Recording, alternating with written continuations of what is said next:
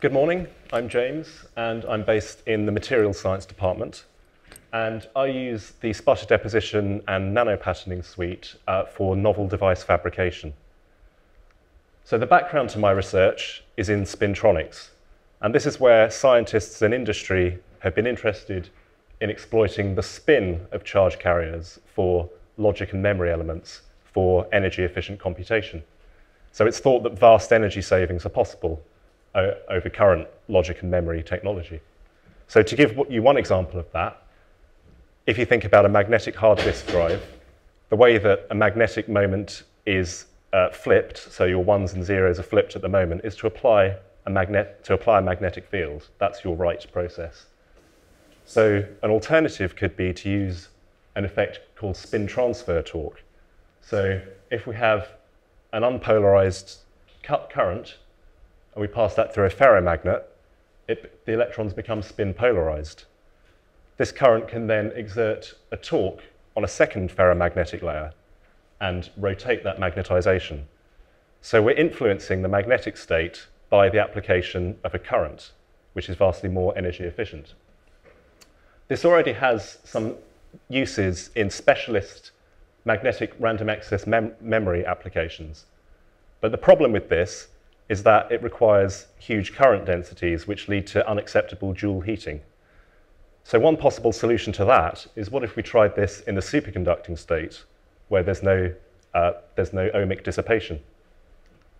I'm aiming to generate spin, spin polarized supercurrents in the superconducting state.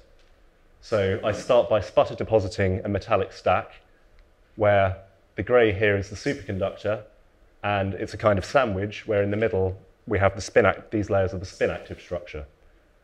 I first do a conventional photolithography step to thin this down to a four micron track.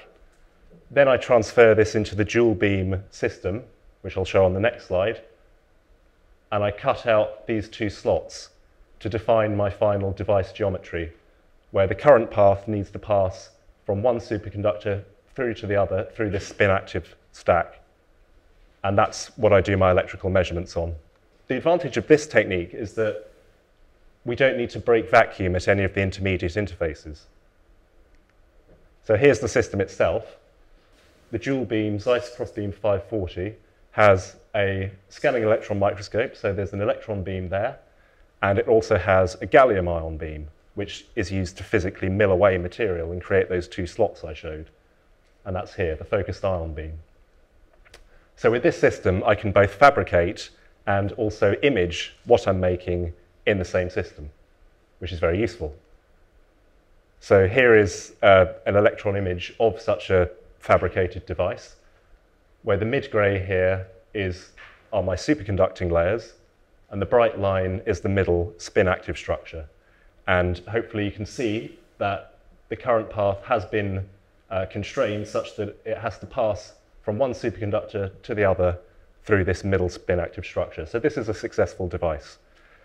And later on at my poster, I'm happy to show the electrical measurements that show that indeed we do have some signature of having generated a spin polarized supercurrent. So thank you.